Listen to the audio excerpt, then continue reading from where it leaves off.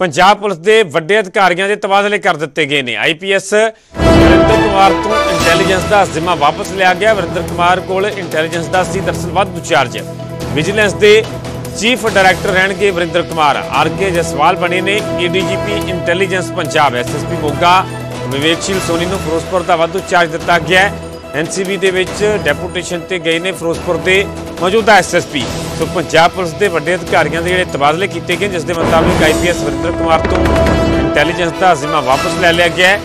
ਵਰਿੰਦਰ ਕੁਮਾਰ ਦੇ ਕੋਲ ਇੰਟੈਲੀਜੈਂਸ ਦਾ ਦਰਸਲ ਵਾਧੂ ਚਾਰਜ ਸੀਗਾ। ਵਿਜੀਲੈਂਸ ਦੇ ਚੀਫ ਡਾਇਰੈਕਟਰ ਰਹਿਣਗੇ ਵਰਿੰਦਰ ਕੁਮਾਰ। ਆਰਕੇ ਜਸਵਾਲ ਜਿਹੜੇ ਕਿ ਏਡੀਜੀਪੀ ਇੰਟੈਲੀਜੈਂਸ ਪੰਜਾਬ ਲਗਾਏ ਗਏ ਨੇ। ਉੱਥੇ ਹੀ ਐਸਐਸਪੀ ਮੋਗਾ ਵਿਵੇਕਸ਼ੀਲ ਸੋਨੀ ਨੂੰ ਫਿਰੋਜ਼ਪੁਰ ਦਾ ਵਾਧੂ ਚਾਰਜ ਦਿੱਤਾ ਗਿਆ ਹੈ। ਐਨਸੀਬੀ ਦੇ ਵਿੱਚ ਡੈਪੂਟੇਸ਼ਨ ਤੇ ਗਏ ਨੇ ਫਿਰੋਜ਼ਪੁਰ ਦੇ ਮੌਜੂਦਾ ਐਸਐਸਪੀ।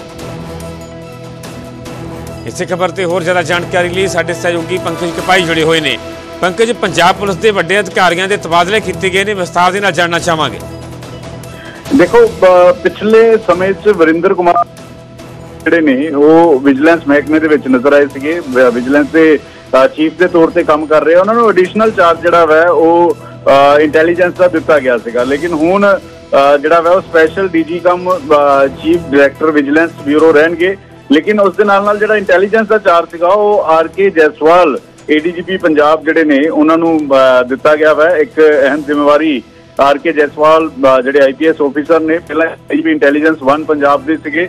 ਹੁਣ। ADGP intelligence Punjab head of wing ਦੇ ਤੌਰ ਤੇ ਆਰ ਆਰ ਕੇ ਜਸਵਾਲ ਨੂੰ ਲਗਾਇਆ ਗਿਆ ਕਿਉਂਕਿ ਵਰਿੰਦਰ ਕੁਮਾਰ ਹੋਰਾਂ ਕੋ ਕਾਫੀ ਜ਼ਿਆਦਾ ਫਾਈਲਾਂ, ਕਈ ਸਾਰੇ ਕੇਸਿਸ ਕਈ ਸਾਰੇ ਵਿਜੀਲੈਂਸ ਦੇ ਨਾਲ ਵਿਜੀਲੈਂਸ ਦੇ ਮਾਮਲੇ ਜਿਹੜੇ ਨੇ ਉਹ ਐਕਸ਼ਨ ਦੇ ਵਿੱਚ ਨਜ਼ਰ ਆ ਰਹੇ ਸੀਗੇ ਔਰ ਇਸੇ ਵਜ੍ਹਾ ਕਰਕੇ ਉਹ ਪੂਰਾ ਸਮਾਂ ਨਹੀਂ ਦੇ ਪਾ ਰਹੇ ਸੀਗੇ ਔਰ ਇਸ ਵਜ੍ਹਾ ਕਰਕੇ ਇਹ special DG cum chief director ਜਿਹੜਾ ਵਿਜੀਲੈਂਸ ਬਿਊਰੋ ਜਿਹੜਾ ਵਾ ਵਰਿੰਦਰ ਕੁਮਾਰ ਹੋਰਾਂ ਨੂੰ ਲਗਾਇਆ ਗਿਆ ਲੇਕਿਨ ਆਰ ਕੇ ਜਸਵਾਲ ਹੋਰਾਂ ਨੂੰ ਇੰਟੈਲੀਜੈਂਸ ਹੈਡ ਦੇ ਤੌਰ ਤੇ ਲਗਾਇਆ ਗਿਆ। ਠੀਕ ਹੈ, ਪੰਕਜ, ਫਿਲਹਾਲ ਦੀ ਪੂਰੀ ਜਾਣਕਾਰੀ ਲਈ ਬਹੁਤ ਬਹੁਤ ਧੰਨਵਾਦ। ਦਰਅਸਲ ਪੰਜਾਬ ਪੁਲਿਸ ਦੇ ਵੱਡੇ ਅਧਿਕਾਰੀਆਂ ਦੇ ਤਬਾਦਲੇ ਕਰ ਦਿੱਤੇ ਗਏ ਨੇ। ਆਈਪੀਐਸ ਵਰਿੰਦਰ ਕੁਮਾਰ ਤੋਂ ਇੰਟੈਲੀਜੈਂਸ ਦਾ ਜ਼ਿੰਮਾ ਵਾਪਸ ਲਿਆ ਗਿਆ। ਵਰਿੰਦਰ ਕੁਮਾਰ ਦੇ ਕੋਲ ਇੰਟੈਲੀਜੈਂਸ ਦਾ ਦਰਅਸਲ ਵਾਧੂ ਚਾਰਜ ਸੀਗਾ। ਬਿਜ਼ਨਸ ਦੇ ਚੀਫ ਡਾਇਰੈਕਟਰ ਹੁਣ ਰਹਿਣਗੇ ਵਰਿੰਦਰ ਕੁਮਾਰ। ਹਾਲਾਂਕਿ ਚੀਫ ਡਾਇਰੈਕਟਰ ਉਹਨਾਂ ਦੇ ਕੋਲ ਪਹਿਲਾਂ ਹੀ ਅਹੁਦਾ ਸੀਗਾ। ਉਸ ਅਹੁਦੇ ਤੇ ਲਗਾਤਾਰ ਬਣੇ ਰਹਿਣਗੇ। ਪਰ ਜਿਹੜਾ ਕਿ ਵਾਧੂ ਚਾਰਜ ਦਿੱਤਾ ਗਿਆ ਸੀਗਾ, ਵਾਧੂ ਚਾਰਜ ਵਾਪਸ ਲਿਆ ਗਿਆ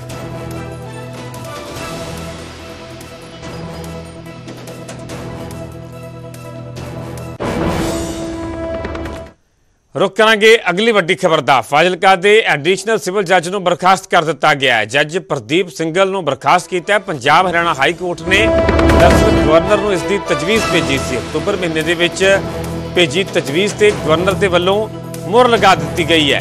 ਸੋ ਵੱਡੀ ਖਬਰ ਜੁੜੀ ਹੋਈ ਹੈ। ਫਾਜ਼ਿਲਕਾ ਦੇ ਐਡੀਸ਼ਨਲ ਸਿਵਲ ਜੱਜ ਨੂੰ ਬਰਖਾਸਤ ਕੀਤਾ ਗਿਆ ਹੈ। ਵੱਡੀ ਕਾਰਵਾਈ ਕੀਤੀ ਗਈ ਹੈ। ਜੱਜ ਪ੍ਰਦੀਪ ਸਿੰਗਲ ਨੂੰ ਬਰਖਾਸਤ ਕੀਤਾ ਗਿਆ ਹੈ।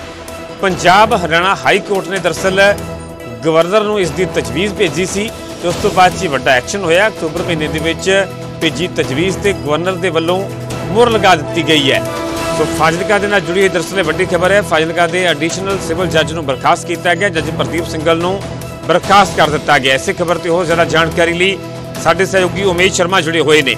ਉਮੇਸ਼, ਜਾਨਣਾ ਚਾਹਾਂਗੇ ਆਖਿਰਕਾਰ ਕੀ ਪੂਰਾ ਮਾਮਲਾ ਕੀ ਵਜ੍ਹਾ ਰਹੀ ਕਿ ਫਾਜ਼ਿਲਕਾ ਦੇ ਐਡੀਸ਼ਨਲ ਸਿਵਲ ਜੱਜ ਨੂੰ ਬਰਖਾਸਤ ਕੀਤਾ ਗਿਆ ਦੇਖੋ, ਅਕਤੂਬਰ ਦੇ ਮਹੀਨੇ ਵਿੱਚ ਪੰਜਾਬ ਹਰਿਆਣਾ ਹਾਈ ਕੋਰਟ ਦੀ ਫੁੱਲ ਬੈਂਚ ਨੇ ਇੱਕ ਰეკਮੈਂਡੇਸ਼ਨ ਭੇਜੀ ਸੀ ਇਹ ਜਿਹੜੇ ਸਿਵਲ ਜੱਜ ਨੇ, ਇਹਨਾਂ ਦੇ ਖਿਲਾਫ। ਔਰ ਖਾਲੀ ਇਹ ਨਹੀਂ ਟੋਟਲ ਤਿੰਨ ਜੇ ਆਪਾਂ ਕਰੀਏ, ਇਸ ਤੋਂ ਪਹਿਲਾਂ ਜਿਹੜੇ ਇੱਕ ਹੋਰ ਐਡੀਸ਼ਨਲ ਡਿਸਟ੍ਰਿਕਟ ਜੱਜ ਸੀਗੇ ਸੈਸ਼ਨ ਜੱਜ ਕਪੂਰਥਲਾ ਦੇ, ਰਾਕੇਸ਼ ਕੁਮਾਰ ਉਹਨਾਂ ਦੀ ਵੀ ਸਸਪੈਂਸ਼ਨ ਦੇ ਜਿਹੜੇ ਔਰ ਡਿਸਪਲਿਨਰੀ ਪ੍ਰੋਸੀਡਿੰਗ ਸੀਗੀ ਉਹ ਵੀ ਭੇਜੇ ਸੀਗੇ।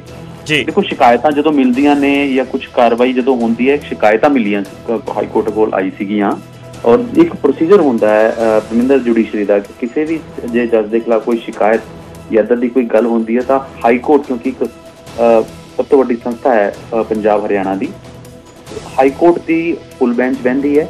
ਇੱਕ ਪ੍ਰੋਸੀਜਰ ਹੁੰਦਾ ਹੈ ਉਹਨਾਂ ਸ਼ਿਕਾਇਤਾਂ ਨੂੰ ਦੇਖਿਆ ਜਾਂਦਾ ਹੈ ਆਪਸ ਜੱਜ ਵਿਚਾਰ ਵਿਮਰਸ਼ ਕਰਦੇ ਨੇ ਕਿੰਨੀ ਗੰਭੀਰ ਸ਼ਿਕਾਇਤ ਹੈ ਉਸ ਤੇ ਆਧਾਰ ਤੇ ਫਿਰ ਅੱਗੇ ਫੈਸਲਾ ਲੈਂਦੇ ਨੇ ਜਿਹੜੇ ਫਾਜ਼ਿਲਕਾ ਦੇ ਜੱਜ ਦੀ ਆਪਾਂ ਗੱਲ ਕਰ ਰਹੇ ਹਾਂ ਐਡੀਸ਼ਨਲ ਸਿਵਲ ਜੱਜ ਦੀ ਇਹਨਾਂ ਦੇ ਖਿਲਾਫ ਵੀ ਸ਼ਿਕਾਇਤਾਂ ਮਿਲੀਆਂ ਸੀਗੀਆਂ ਫੁੱਲ ਬੈਂਚ ਬੈਠਿਆ। ਤੇ ਰეკਮੈਂਡੇਸ਼ਨ ਫਿਰ ਪੰਜ ਗਵਰਨਰ ਪੰਜਾਬ ਨੂੰ ਭੇਜੀ ਗਈ ਹੈ। ਔਰ ਅਕਤੂਬਰ ਚ ਭੇਜੀ ਗਈ ਸੀ। ਅਕਤੂਬਰ ਦੀ ਜਿਹੜੀ ਰეკਮੈਂਡੇਸ਼ਨ ਸੀ ਹੁਣ ਉਹ ਗਵਰਨਰ ਨੇ ਆਪਣੀ ਮੋਹਰ ਲਾਤੀ ਯਾਨੀ ਕਿ ਆਰਡਰ ਜਿਹੜੇ ਬਰਖਾਸਤੀ ਦੇ ਸਸਪੈਂਸ਼ਨ ਦੇ ਸਰਵਿਸ ਤੋਂ ਡਿਸਮਿਸ ਦੇ ਉਹ ਗਵਰਨਰ ਨੇ ਹੁਣ ਹਾਮੀ ਭਰਤੀ ਉਹਨਾਂ ਦੇ ਗਵਰਨਰ ਨੇ। ਹੁਣ ਓਕੇ ਕਰਤਾ। ਤਾਂ ਇਹ ਸਾਰਾ ਪ੍ਰੋਸੀਜਰ ਹੁੰਦਾ ਹੈ ਕਿ ਜਦੋਂ ਕਿਸੇ ਜੱਜ ਦੇ ਖਿਲਾਫ ਕੋਈ ਸ਼ਿਕਾਇਤ ਆਉਂਦੀ ਹੈ ਤਾਂ ਹਾਈ ਕੋਰਟ ਉਸ ਤੇ ਫੈਸਲਾ ਲੈ ਕੇ ਅੱਗੇ ਗਵਰਨਰ ਨੂੰ ਭੇਜਦਾ ਹੈ। ਹਾਂ ਠੀਕ ਹੈ ਉਮੇਸ਼ ਫਿਲਹਾਲ ਦੀ ਪੂਰੀ ਜਾਣਕਾਰੀ ਲਈ ਬਹੁਤ ਬਹੁਤ ਧੰਨਵਾਦ। ਦਰਅਸਲ ਫਾਜ਼ਿਲਕਾ ਦੇ ਐਡੀਸ਼ਨਲ ਸਿਵਲ ਜੱਜ ਨੂੰ ਬਰਖਾਸਤ ਕੀਤਾ ਗਿਆ। ਜੱਜ ਪ੍ਰਦੀਪ ਸਿੰਗਲ ਦੇ ਖਿਲਾਫ ਇਹ ਕਾਰਵਾਈ ਕੀਤੀ ਗਈ ਹੈ। ਦਰਅਸਲ ਕੁਝ ਸ਼ਿਕਾਇਤਾਂ ਦਾ ਜੋ ਕਿ ਜ਼ਿਕਰ ਕੀਤਾ ਜਾ ਰਿਹਾ ਉਹਨਾਂ ਸ਼ਿਕਾਇਤਾਂ ਦੇ ਆਧਾਰ ਤੇ ਦਰਅਸਲ ਪੰਜਾਬ ਹਰਿਆਣਾ ਹਾਈ ਕੋਰਟ ਦੇ ਵੱਲੋਂ ਗਵਰਨਰ ਨੂੰ ਤਜਵੀਜ਼ ਭੇਜੀ ਗਈ ਸੀ ਤੇ ਅਕਤੂਬਰ ਮਹੀਨੇ ਦੇ ਵਿੱਚ ਭੇਜੀ ਤਜਵੀਜ਼ ਤੇ ਗਵਰਨਰ ਦੇ ਵੱਲੋਂ ਮੋਹਰ ਲਗਾਈ ਗਈ ਤੇ ਉਸ ਦੇ ਬਾਅਦ ਹੁਣ ਫਾਜ਼ਿਲਕਾ ਦੇ ਐਡੀਸ਼ਨਲ ਸਿਵਲ ਜੱਜ ਨੂੰ ਬਰਖਾਸਤ ਕੀਤਾ ਗਿਆ।